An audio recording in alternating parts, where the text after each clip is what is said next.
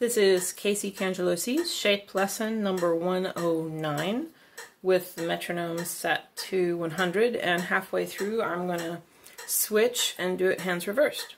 and I'm going to count off with four. One, two, three, four.